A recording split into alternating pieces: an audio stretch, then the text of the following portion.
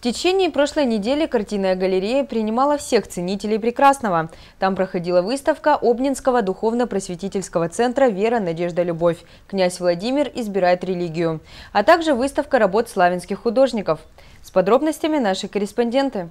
Для посетителей картины галереи были представлены 18 репродукций икон, страниц средневековых летописей с иллюстрациями, а также живописные работы русских художников 19-21 веков. Все они рассказывают историю принятия христианства на Руси, начиная от княгини Ольги и князя Владимира, первых русских мучеников Федора и Иоанна, пострадавших за веру Христову. Очень интересная история, как долго э, князь Владимир несколько лет думал о тем, какую же веру выбрать для нашего э, народа.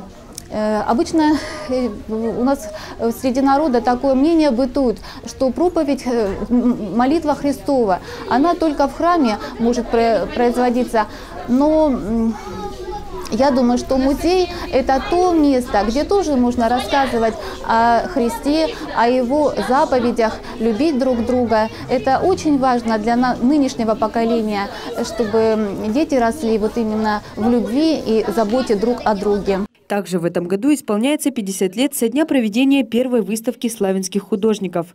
Это хороший повод подвести итоги, рассказать об успехах и достижениях, о том, что удалось притворить в жизнь и что еще предстоит сделать. К этому событию также была приурочена выставка картин художников Славянска-на-Кубани и Славянского района в выставочном зале картинной галереи Славянского историко-краеведческого музея.